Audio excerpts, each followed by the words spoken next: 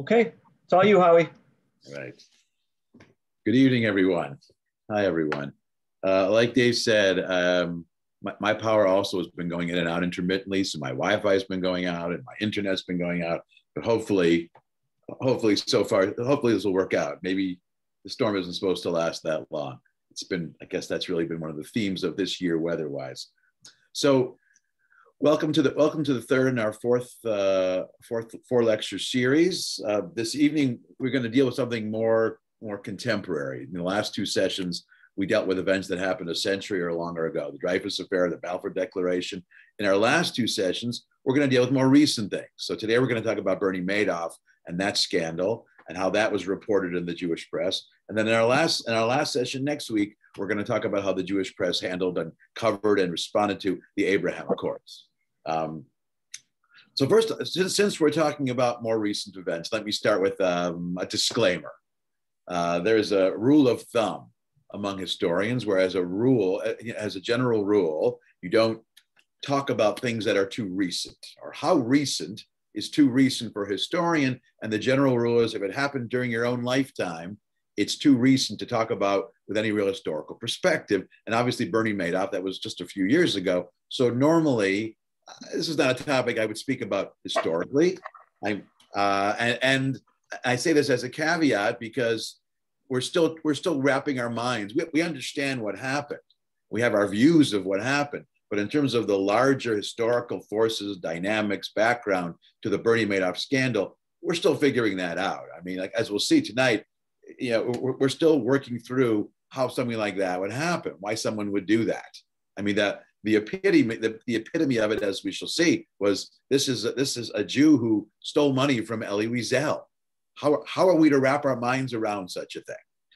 Thankfully, uh, in our series, we're not only talking because in, in, the context of our series, we're not only talking about the event itself.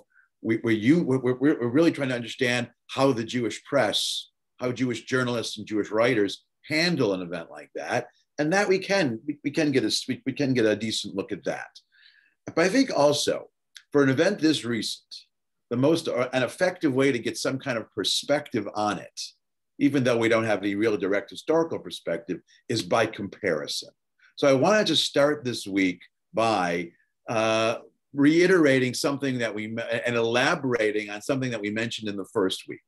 Now, and don't worry if you weren't here, I'll catch you up right now. But if you if you were here the first week, you recall that when we spoke about Dreyfus, we noted that the Dreyfus affair was the third in a trilogy of turn of the 20th century French politics. So the Dreyfus affair was preceded by a conservative coup led by General Boulanger in 1888. And then it was, and, and then it was also preceded in 1992 by what came to be known as the Panama scandal or the Panama crisis. And that's what I want to return to this week because the Panama crisis, in a way, has certain parallels to the Bernie Madoff scandal. So before we dive into Madoff, I thought it would be useful to look. Do you, do you have it, Mindy? Yeah, Somebody not muted? Oh, uh, sorry. I, I thought it would be useful to look back on that scandal and see see the parallels between that and Bernie Madoff, what we can learn from the Panama scandal, and how that'll give us some framework, some perspective, some context, some comparative comparative context for Bernie Madoff. So what was so what was so here we go back to 1892, and the, the the short version of the story, as I mentioned, is that in one of the first attempts to dig the Panama Canal, France was the country that sort of took charge of it, and several several wealthy French entrepreneurs. They raised an enormous amount of capital, millions and millions of French francs, which they were going to use to fund an, uh, a private operation a- acting on behalf of the state, of the French state, to dig the Panama Canal. Now, if you know your history, the Panama Canal was not dug in, 19, in, in 1892, nor was this event called the Panama Canal Crisis. It's only called the Panama Crisis because they didn't succeed in digging the Panama Canal. The whole thing was a disastrous failure, partly because of the bugs and malaria, uh, partly because the whole thing was just so disorganized, both from the vantage point of government, both from the vantage point of this of, of the organis of the the corporation that was supposed to dig it, but what, what wound up happening is several of the entrepreneurs who gathered, the, who, who, who uh, collected the capital, the investment to dig the canal, they absconded with the money. Now, among these entrepreneurs, there were a number of prominent French Jews. And I put two on your handout, if you have the handout. One is Jacques de Reinach, and the other was Cornelius Herz. Now, before I tell you what their role was, and they, uh, specifically the one thing you have to understand about them, they weren't just French Jews. I mean, these were emancipated French Jewish citizens, but they were both from immigrant German Jewish families. So they both were relative newcomers to France, keeping in mind that in the 1890s, there was a deep mistrust between France and Germany, which means if you were French, you distrusted everything about Germany German politics, German culture, anyone who came from Germany, including G- German Jews and German Jewish immigrants. Plus, Reinach and Herz living in France, they were, they, since moving to France, they had grown up there. They were acting very acculturated, very, the word we use is Gallicized, very, you know, Frenchified. And so the notion was uh, they were doing that so they could infiltrate French society. So, by definition, if you were foreign, you were suspected. And if you were German, you were even more suspected. So here you have these two German Jewish immigrants who are now French citizens in the 1890s. They, they take part in this entrepreneurial enterprise to dig the Panama Canal. When it absconds, they're the ones who steal all the money. So they're going to become sort of the target of the criticism. As we noted when we spoke about Dreyfus, the what came out of came out of the Panama crisis in France was this sense that uh, Jewish citizens, French Jewish citizens, a are innately foreign, foreign. They're not really French. They're outsiders. But B, perhaps even more important in this context, they are anti-French. They're just they're not only not French, they are the enemies of France, and they're not a direct military enemy with a with an overt, you know, open invasion. They're a more insidious, uh, covert inv- invasion of France.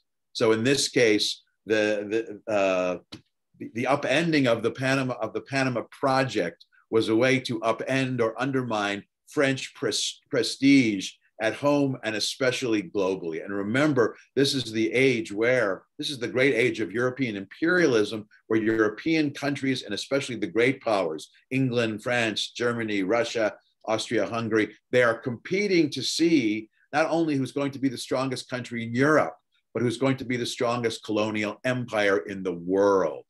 And the Panama Canal was going to was supposed to be a vehicle for France to extend its influence. They were, they were going to be the ones who, who controlled this crucial waterway connecting the Atlantic and the Pacific Ocean. It was going to be this great, let's call it a great overseas, a great colonial victory for France, uh, a source of great prestige.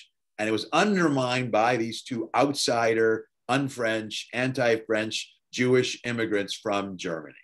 So, as we asked with Dreyfus, one of the questions we asked with these two how significant was it that they were Jewish? Was it more about them being foreign and from Germany?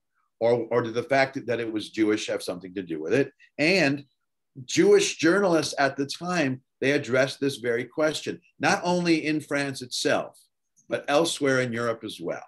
There was concern uh, primarily among Jews in France, but among other Jewish communities as well, that this event was going to affirm what anti Semites said about Jews, and especially what racial anti Semites said about Jews.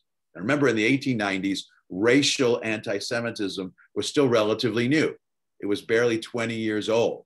It was a novel form of anti Semitism, and it hadn't yet, it was only in the process of becoming mainstream.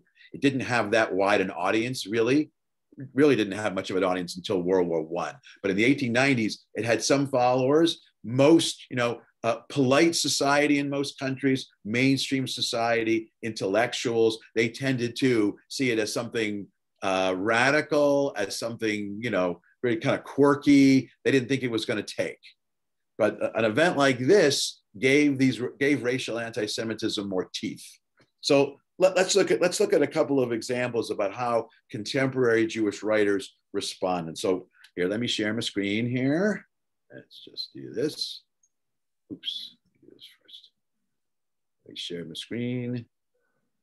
Uh, let's put this. Wait, I think I have to, hold on. Just a minute. Where is it? I think I have to. Just a second. Oh, can everyone see this? With this? All right. Can everyone see this? Okay, good. So let's look. Let's look at. Uh, let's look at text excerpt number one. This comes from uh, a the Hungarian Jewish uh, Weekly. We've been quoting in the last couple sessions. As you can see, it's it's it's one of it's one of my favorites. It's a, it's a, it's a really good newspaper. They're really really quality. I mean, as you know, as newspapers go.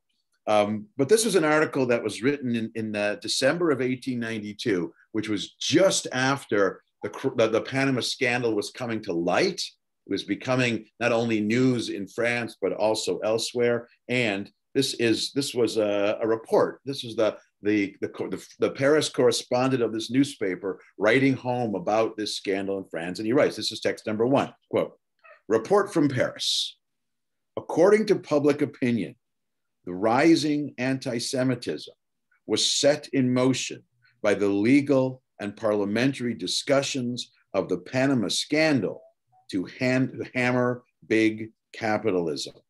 Reinach's legacy, remember, he's what he was sort of the, the, the, the, mastermind of all of this, of the scandal. Reinach's legacy will surely will endure in political life, in the press, in the realm of scholarship, in parliament and the military, and among accomplished statesmen and honored nobles. So here's a writer who says, this is not just a passing thing. This is going to be something very significant. Now, he didn't realize how, pre- how prophetic he was being. This is two years before Dreyfus. And as we noted when we talked about Dreyfus, this is going to be one of the contributing factors why Dreyfus became such a big scandal. But already by 1892, there is a sense that there is a rising anti Semitism in France, even before the scandal. There's, there's is the beginnings of it, but this scandal really accelerated, accelerated it. Now, the following year, there was another another another comment. This is a year after the scandal is done. This is after some court trials have been taking place, and this is a report, uh, really an excerpt from the debate in the French Parliament about the scandal. So, so this is text number two. This is a year later. The French Parliament is still talking about the scandal. is still talking about who was involved. And this, this is a, a, a French member of parliament named Rouanet, and this is what he says. This is text number two. Let us remember he's speaking to the members of parliament, which means he's also speaking to the press. This these statements, certainly the significant ones, were, were published and made public to people. He says, "Let us talk about Panama, a scandal attributed, should say attributed to Jews."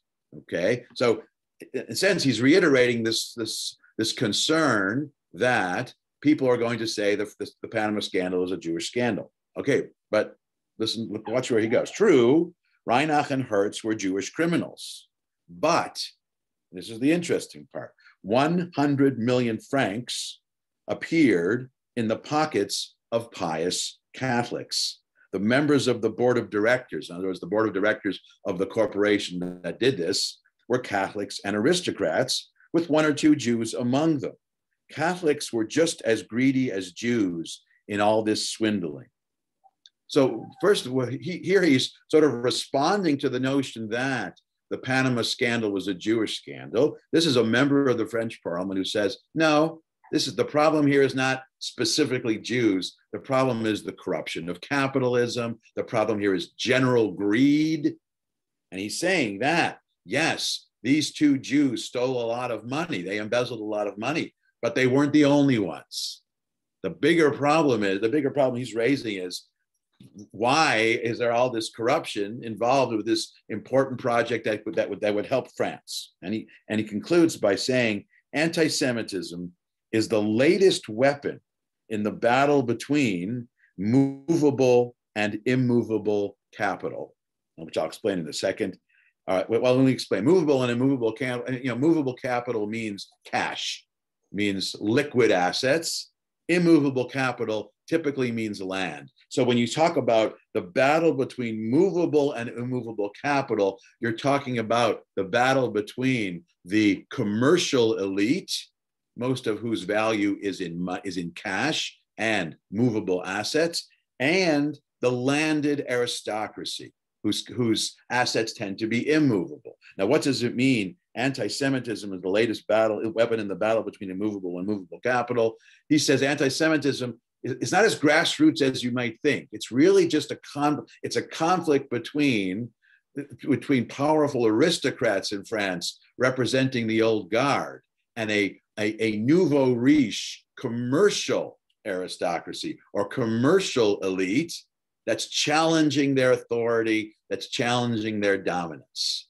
So this is a this is a member of parliament who's saying you can't fully understand this scandal simply as something that Jews did. It's part of a larger economic struggle between uh, what today we would call uh, the 1% and the middle class.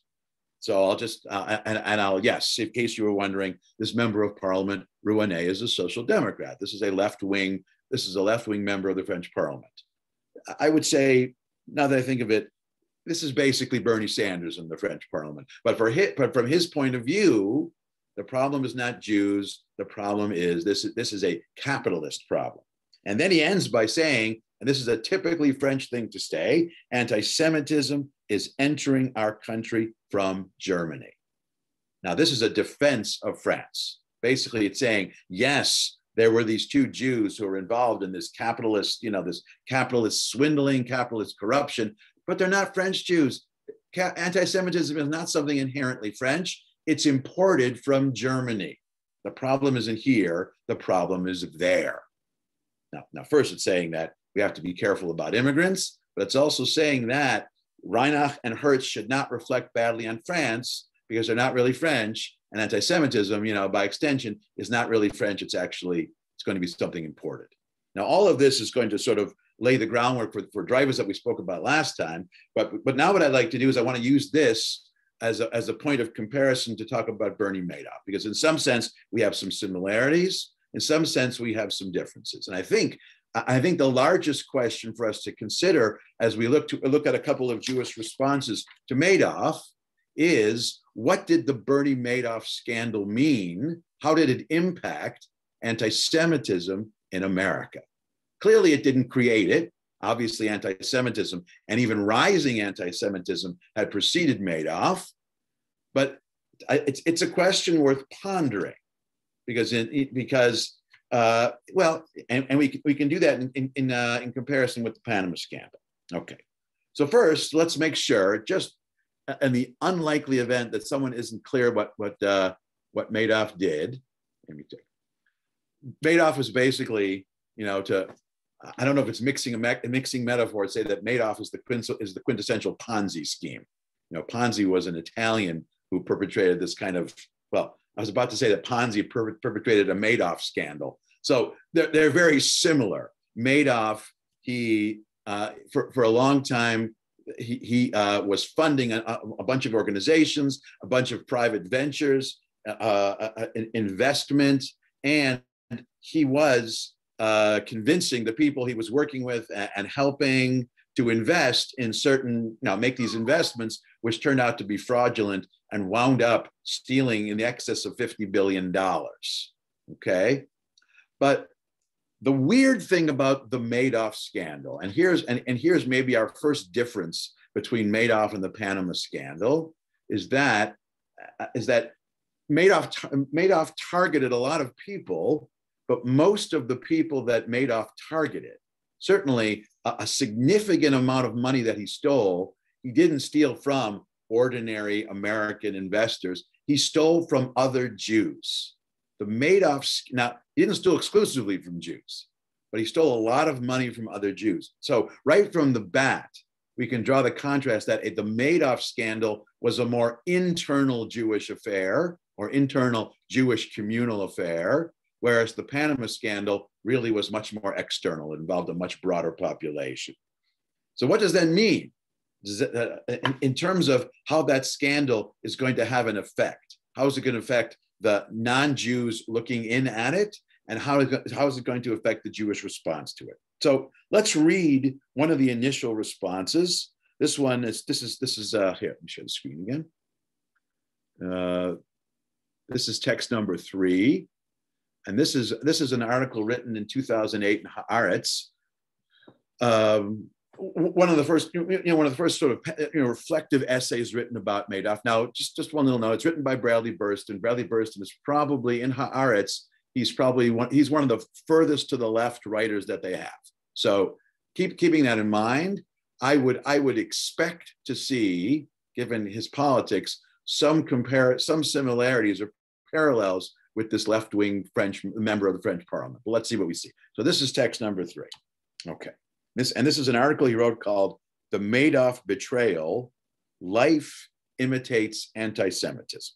Okay. And he writes, "For the true anti-Semite, Christmas came early this year. The anti Semites' new Santa is Bernard Madoff. Okay. The answer to every Jew hater's wish list, the Aryan nation at its most delusional couldn't have come up with anything to rival this. The former chairman of NASDAQ turns out also to be treasurer of the board of trustees at Yeshiva University and chairman of the university's business school. Rich beyond human comprehension, he handles fortunes for others, buying and selling in a trading empire that skirts investment banks and other possible sources of regulation.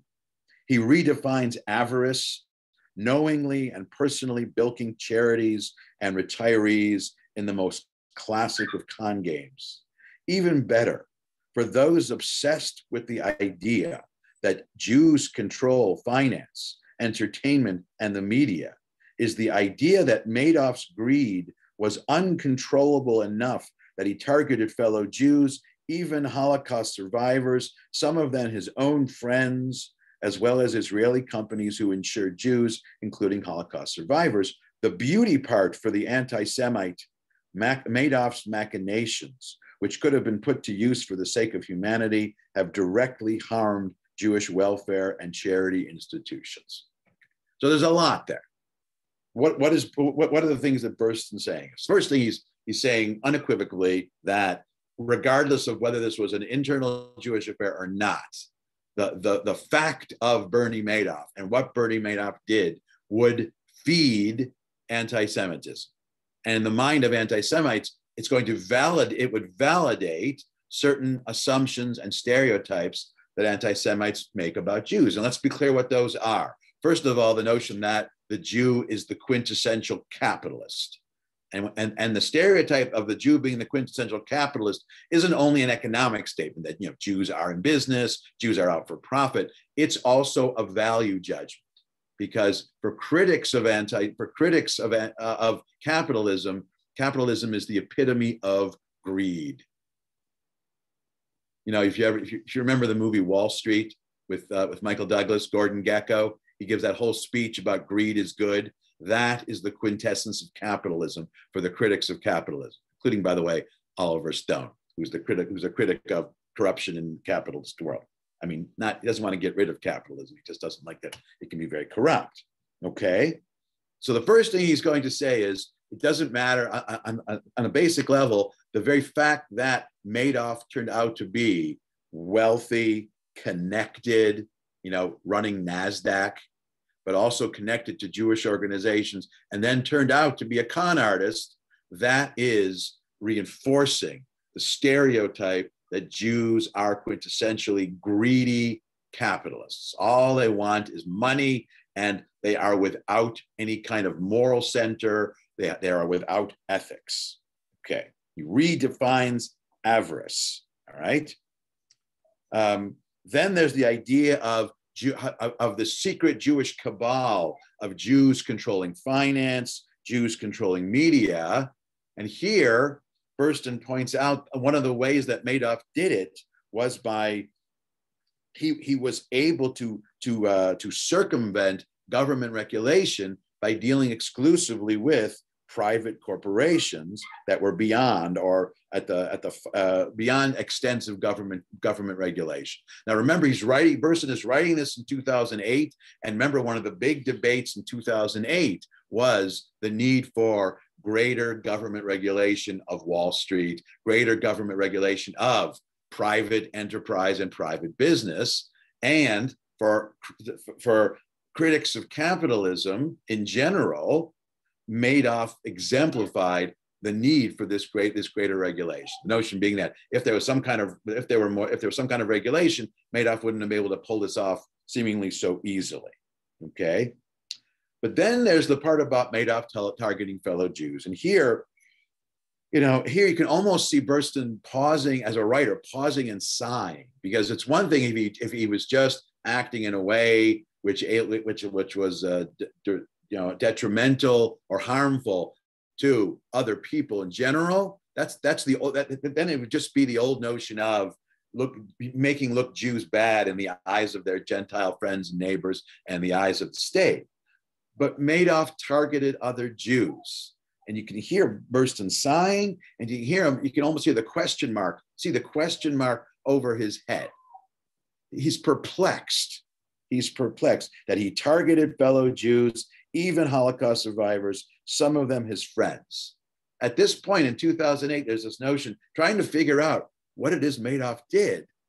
Uh, the sense of being perplexed is how, how can, not just how can anyone do this, why would anyone do this to their friends? Why would someone, why would a Jew do this to Holocaust survivors? And remember, this is Madoff who had been involved in Jewish, Jewish, commun, Jewish communal affairs and events. This is someone who who seemed to have some kind of Jewish conscience, but clearly in this instance it began to fade. So Madoff, this is this is an this is an initial reaction. It's a raw reaction. I mean, Burstoff's Burston's reaction to this. At this point, he is trying to make heads or tails out of something which was very very perplexing.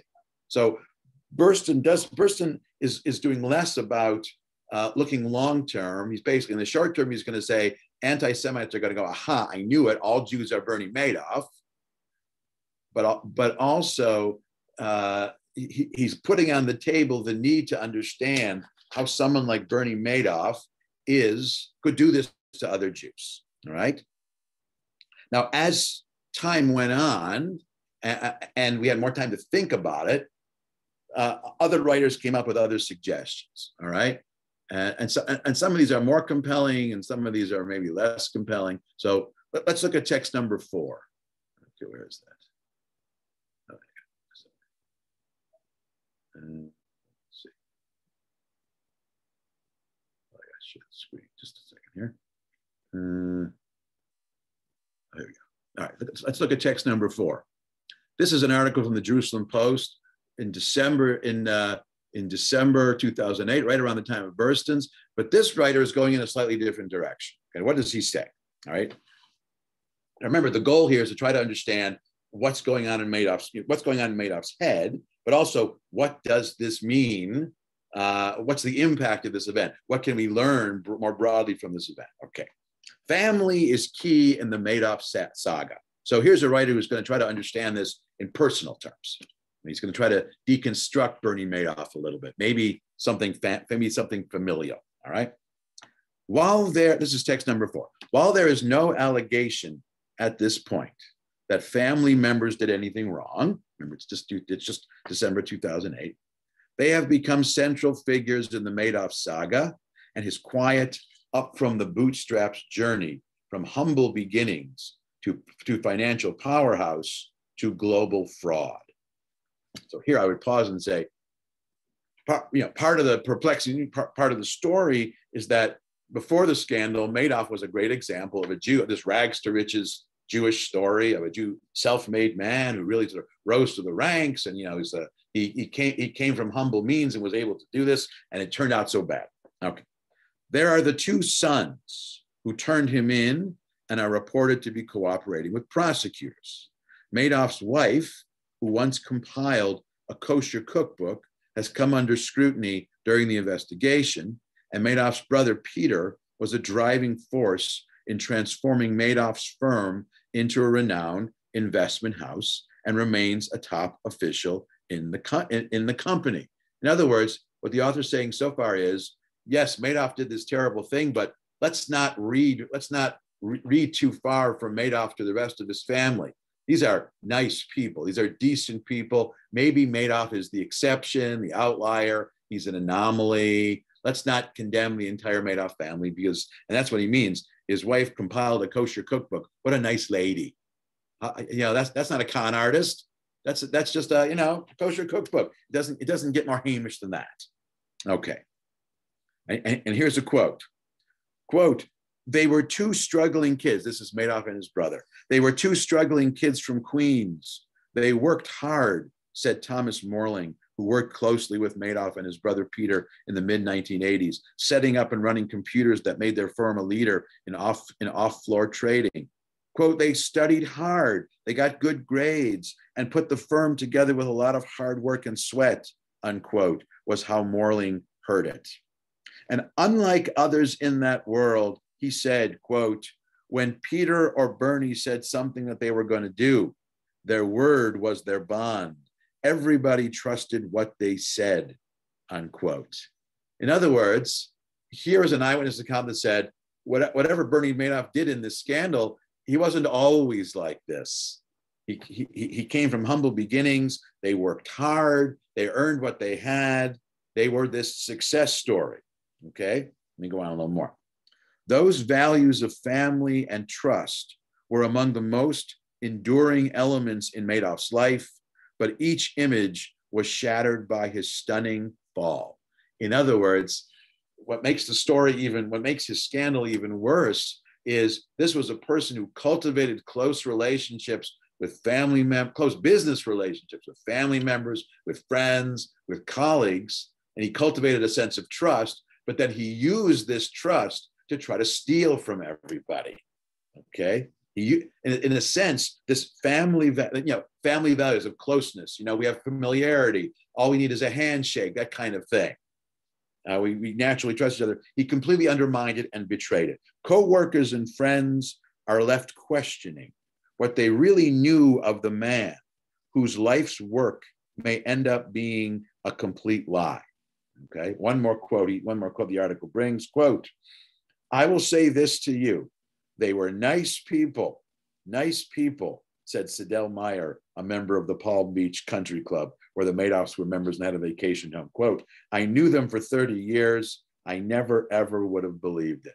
So Madoff is the story of the, he, this wasn't an obvious story. This isn't someone you sort of watch and, you know, he, he's basically a huckster his whole life and, and rises in the ranks and no one is surprised when it's revealed how corrupt he is. This is the opposite story. This is a, this is someone everybody liked. This is someone that everybody trusted. This is someone everyone assumed was uh, you know a decent guy. I, I, have to be honest, you know, and I I remember during the uh, you know a personal recollection during the Madoff story uh, in, in 2008. What it reminded me because when I was a kid, uh, there, there, was a it wasn't anything on the same kind of scale, but the whole Ivan Boesky scandal went down, and you know, Ivan Boesky had his Detroit connections.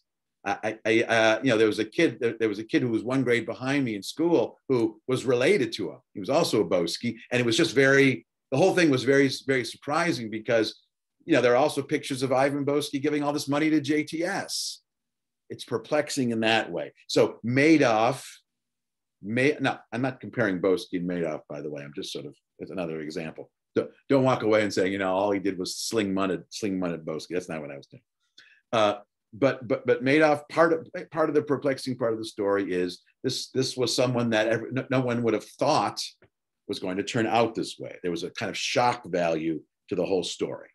Okay, but but you can see in the in these initial responses to Madoff, uh, there's not much more than simply coming to terms of uh, the fact that he did it and how surprising that is it would take a, it would take a full year.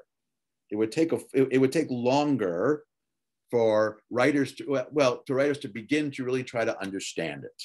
Okay, so a year later in Commentary magazine, Jonathan Tobin, who is he is one of the best Jewish journalists we've got. He writes excellent columns.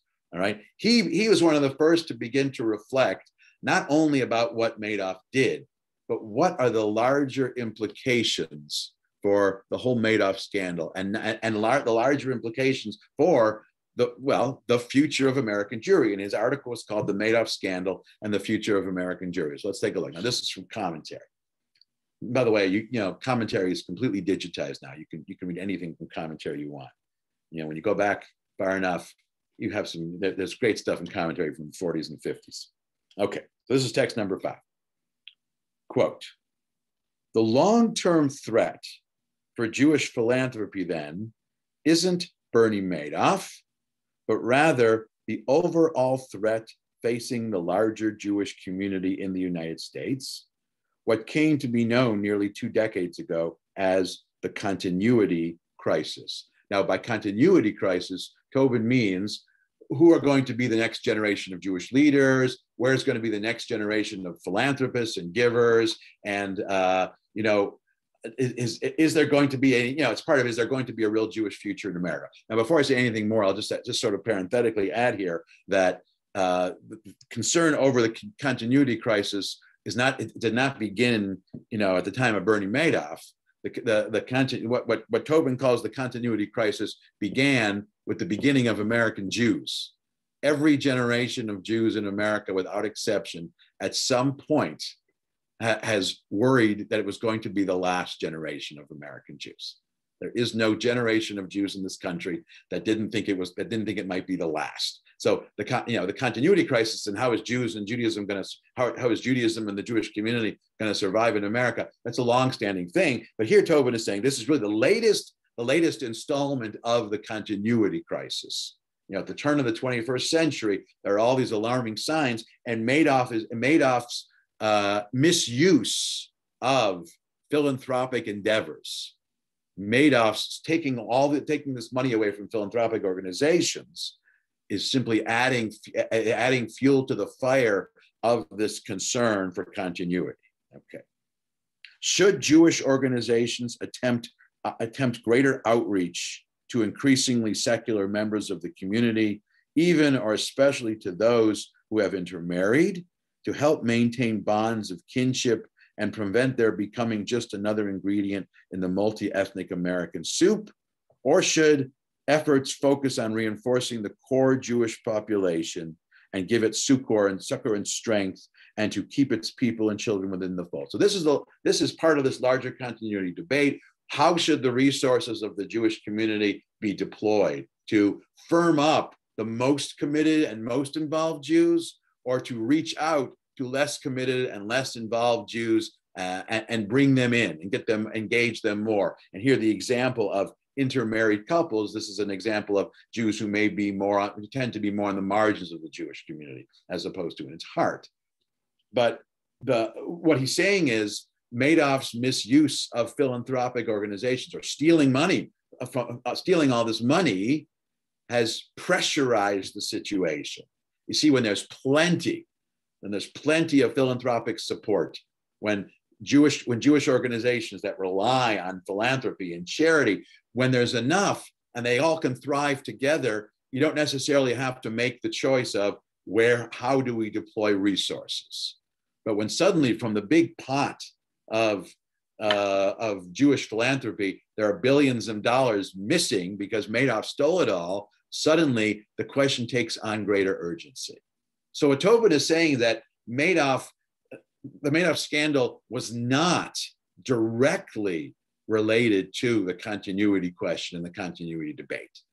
It didn't, it didn't immediately, it didn't directly have to do with Jewish identity and survival, but indirectly, insofar that the question of resources and philanthropy is always at the heart of the debate of how to of how to strengthen and perpetuate Jewish identity in the Jewish community indirectly.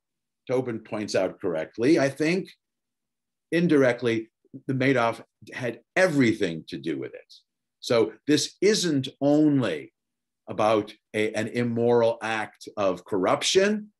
It actually has a real impact. And here, this goes to the question of the fact that he stole money from other Jews and Jewish organizations, as opposed to, like, say, in the Panama scandal, from the population in general, what, what they, the element in the Madoff scandal that wasn't in the Panama scandal is how it directly impacted the, the financial situation of the Jewish community. So the Panama scandal, Panama scandal, it uh, you know it uh, it undermined the image of French Jews or the image of Jews by fortifying the views of anti-Semites. And Madoff did may, may have done that in some sense, but Tobin says here the bigger problem is not the image problem. The, the, the, the, larger, more practical problem here is we now, the, the American Jewish community in the aftermath of Madoff has fewer resources to, to, to, to disperse, to, to distribute. And we have to make some hard choices. And he wasn't just speaking in a vacuum, uh, Tobin. You know, you know, for example, Young Judaea camps who are supported largely by Hadassah, who lost a lot of money to Madoff, they, they almost didn't open up. They, they, they had to cut programs. They had to cut support.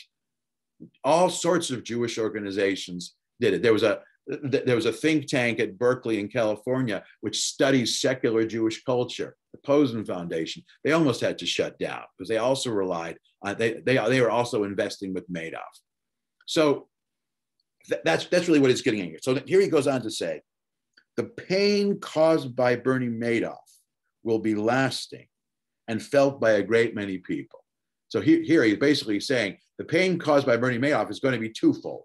Directly, it's those who actually lost, those who he, who he swindled, who trusted him and then he stole their money. But also, it's going indirectly to a much broader group of American Jews whose ability to be Jewish, to participate, to run these organizations, just to provide support is going to be compromised because of Madoff. Okay, there can be little doubt that the method by which he used his Jewish identity to worm his way into the confidence of many Jewish investors and charities will be among the most memorable aspects of his villainy. And here is something novel. This is very different from the Panama crisis. In fact, the, way that he, he, he targeted other Jews and he actually used his connections with the Jewish community to steal from other Jews. This is a, this is something that's difficult to find precedent. You know, I was sort of looking through. I, I you know, there, there obviously there are instances when Jews steal from other Jews, but really nothing on, a, on, on this sort of scale. If there's something unprecedented about Madoff, it, it perhaps it's maybe, maybe it's this. But those concerned about the future of American Jewry have far more pressing worries than the money Madoff stole and lost or the ammunition he might have given to anti Semites. Okay. And here he's responding directly to Bradley Burston. Is it real? Is the real issue anti Semitism? The real question is whether at a time when resources are growing relatively scarce, and remember, he's writing this in February 2009 when the economy was bottoming out because of the recession.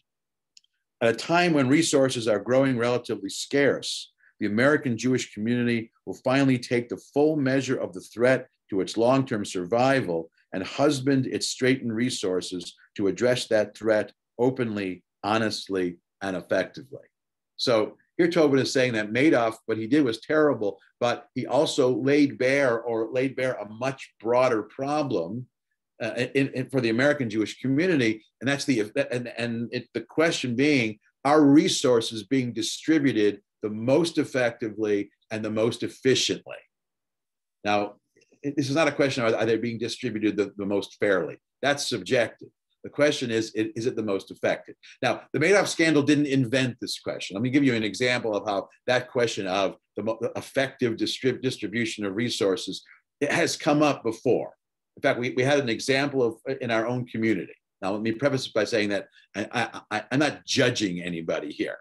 I'm simply saying that this was a debate over the distribution of, of resources when the Zekelman family, I think it was, must be 20 or 30 years ago, when they gave that large endowment to, to have a new Holocaust Memorial Center, one of the best in the country. They gave $18 million. It was a remarkable thing. And let's face it, most of us thought this was just a wonderfully generous thing to do. But there was one criticism of that, or, or I should say, one of the criticisms of that gift was in a community where, where you have to pay five figures to get a, a, a day school education, does it make sense to give $18 million to the Holocaust Center?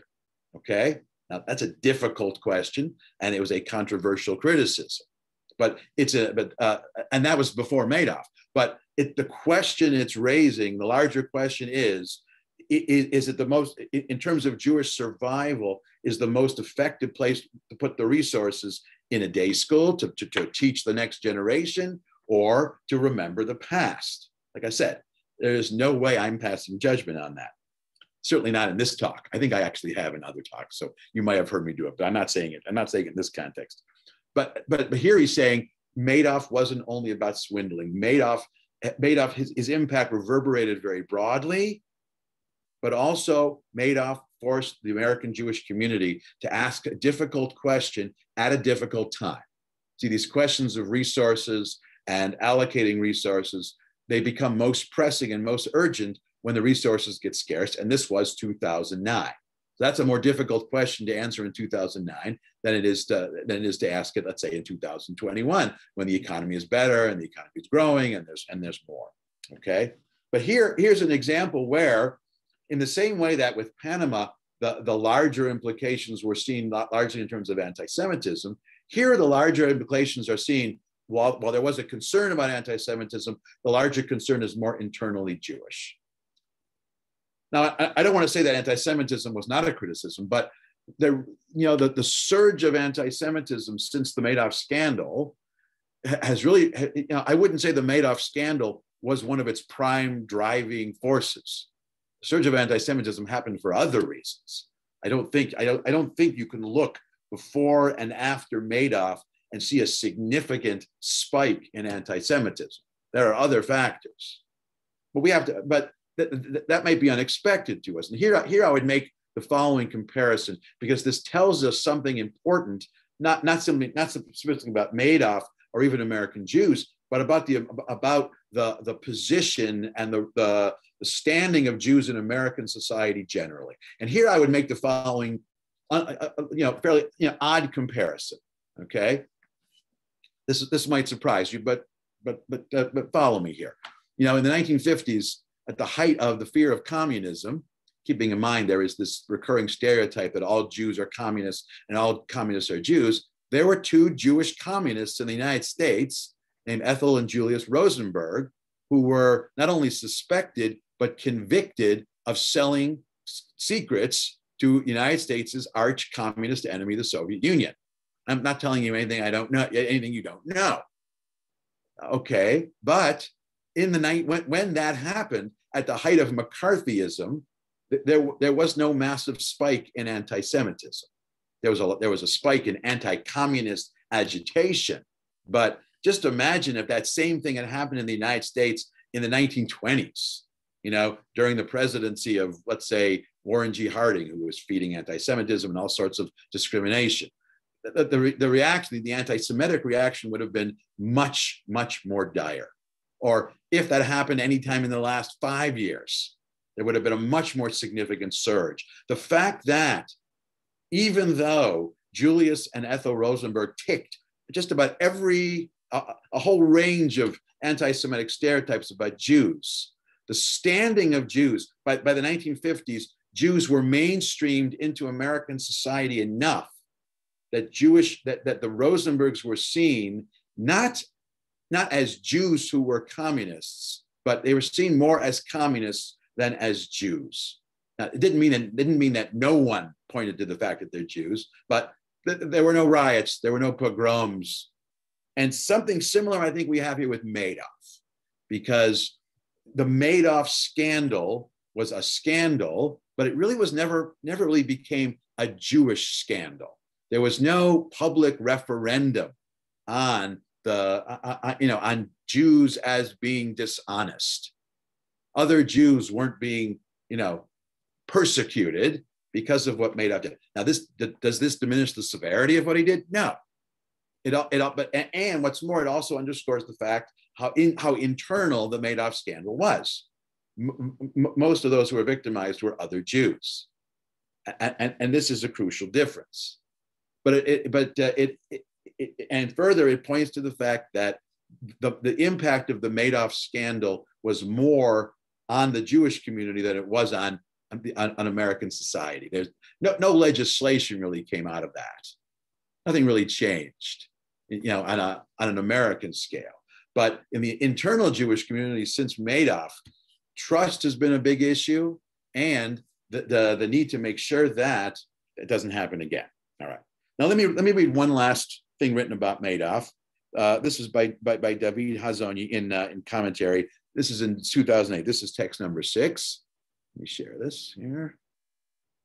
Okay. And then, and then I can then I can wrap it up. Can take some questions. Okay. This is called the meaning of Madoff. Now, this is a writer who, you know, right after he actually, you know, he, he was one of the first to really get a sense of what this is about. For America, we're talking about one of the biggest swindles in human history, and there need to be many, many hard questions about oversight, reporting, regulation, and law enforcement. For America, that we know, that's basically the Panama scandal again. For American Jews, the question is different.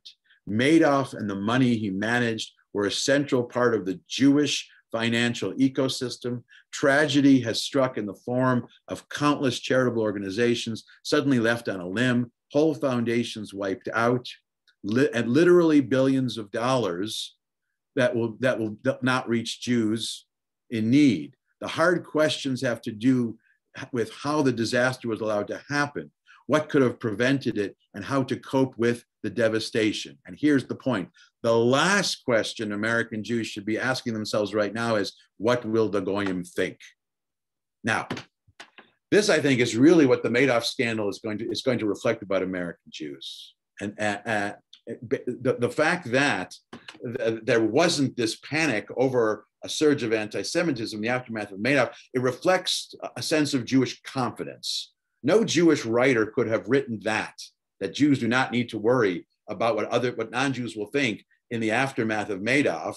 That could only be written by someone living in a community that has that is immensely confident, that, that has that has enough real power and influence and stability and a sense of security to be able not to worry about that. And that is a significant difference between the Madoff scandal and the Panama scandal, because the Panama scandal happened at a time when there was a surge of anti Semitism and French Jews, who were largely part of the French Republic, were feeling very insecure. In 2008, American Jews really felt they were experiencing the highs and lows of America together with everyone else as Americans. Now, the question, of course, is 13 years later in 2021, would this writer make the same point? In 2021, in, in light of the surge of, of anti-Semites, of, of forms of anti-Semitism in the last five years, would we still be this unself-conscious about what Bernie Madoff did? Would, would we still be as willing to treat it as an internal affair? And, and, and be less worried about how it impacts the broader image of Jews in America. My, my gut feeling is that with all that's happened, especially in the last five years, we probably would be more self-conscious about Madoff and the, and the image of Jews, because it would feed into so much more anti-Semitic rhetoric. But it, it, it's hard to know. In any case, it's only 13 years or so since Madoff. As time go as times goes by, we'll be able to have more and more of a perspective about Madoff. But what we do know now, well, first of all, is that there's there's agreement that what he did was immoral, what he did was unacceptable. But what, but also what he did, the, the, the challenge in responding to Madoff is not only an image problem, but as much it's an internal Jewish resources problem. Now, the good news is, or the, the silver line to the story is, during the last five or 10 years, the organizations that lost money from Madoff, a lot of them have, have recouped at least some of the money that they lost, either through gifts from other uh, other philanthropists or through court settlements or whatever. Some of some of those resources have been regained, but not all the way. In, in some ways, American Jewry in 2021 is still struggling to fully recover or to get back to where it was on the eve of the Madoff uh, uh, uh of the Madoff scandal. This was an event that rippled through American Jews, American Jewry at the time, and continues to have an impact more than a decade later. Thank you. Thank you very much. well, let's look at some questions. Uh, let's see. Okay. has the Madoff has the case of Madoff ever been finalized in the sense that his family and business having to pay back any of the money, or was the money ever found in order in order to pay back these organizations? Some of it was. You know, these things go on for a long time. Uh, some of the money he stole was returned. A lot of it, a lot of it, um, you know, I, I think the, the estimate here, you know, as much as 80%, which is remarkable. Okay. All right. Uh, was Madoff swindling people right from the beginning of his career, or did this all start later? That is a great question. Um, you know, and, and there are those, there's a debate about this. See, what we don't have yet is, is you know, the, those uh, Madoff's private correspondence, Madoff's secret memos. Eventually, uh, these documents, wherever they are, they're all going to be released and some enterprising historian of, of late uh, of early 21st century American Jewry is going to write a book, you know, the real story of Bernie Madoff, where these secrets will come out. Okay. Personally, my sense is that you know you don't just suddenly convert into a swindler. That he was doing this in some fashion or another, but he was well, you know, he was smoothing it over by through through his own uh, philanthropic endeavors and, and working with other with, with other organizations. Okay. Oh, the, a, a comment. The Rosenberg judge was Jewish, and Ethel brothers Ethel's brother David Greenglass was a key witness. Maybe these factors had the effect of inoculating the American Jewish community in this case. Maybe, maybe. I think the I think the the larger uh, the remarkable thing about the Rosenberg case is that so, but by the 1950s, the, the, the problem over the threat of communism had been divorced, at least in part, from the threat of Jewish communism. In, in 1950s America, the stereotype, all Jews are communists and all communists are Jews, was still percolating around, but it wasn't as central and defining as it had been in the 1920s. You know, there were, by the 1950s, there were, there were uh, Americans, Jews and non-Jews, who were able to compartmentalize Jewish and communist. Partly this is because there were many, let's call them capitalist Americans who had suburban Jewish neighbors. They actually knew some Jews who were not communists. Okay. Uh, yes, Madoff's older son, it, it, tragically, he committed suicide. Okay, here we go. Did the Madoff scandal break around the same time as the general financial crisis, like Lehman Brothers? What did Madoff have to do with the effect of, of worsening what would already have been a major financial shock to the Jewish community? Yeah, yes, I mean, that's a great question. If Madoff had happened not at the same time where there was a collapse of the economy, the devastation of Madoff uh, wouldn't have been so epic. But the fact of the matter is, Madoff absconded with all these, these, these, these resources when resources abruptly became very scarce. Okay. Who, when the movie out came out, who, who plays Madoff? Um, great question. Whether already was a TV movie or miniseries, Madoff was played by Robert De Niro. Though Michael Douglas would also be a great Madoff. I think Michael Douglas was too obvious because he's Gordon Gekko, you know, and it would be hard to us to see Michael Douglas uh, in that role, not as Gordon Gekko, because you know he'll always be Gordon Gekko, and he was busy making movies, you know, making superhero movies with Mar with the Mar with the Marvel universe. Okay, yes, and, and Richard Dreyfuss, yeah, Richard Dreyfuss, yes. So there are going to be more movies about him. And like I said, one day more information will come out about Madoff. We know we know much of this story. We do not yet know the whole story, but we but we we we, we know that it was a pretty lousy thing to do, to say the least. Okay. Um, those are the questions in the chat. I think on that note, I think this might be a good time to uh, to conclude. So thank you all for coming. Oh, oh, there's I got one more. Let me see. One more here. Let's see. Did the family change their last name? That's a great question. I know I would have. If my name was even if I wasn't related, if I if I was Madoff, I would definitely change it. But though, mind you, there is a very good Jewish historian, political scientist named Rafael Medoff who writes about American Jews in World War II. He didn't change his name. I should say that when I was making when, when I was making this handout, I wrote Raphael Madoff by mistake at least three times, so which would have been a terrible mistake. But no, as far as I know, they haven't changed their name. I don't. I don't. Uh, you know. You know. Maybe. I, I, suppose that's a personal decision, or maybe they just want to get, get, you know, get, get some space from the event. Well, and in our last lecture, in our final lecture next week, we're going to turn to another contemporary event. We're going to look at the Abraham Accords and the and the recent debate around that. So if there are no other questions, thank you very much. And I will see you next week.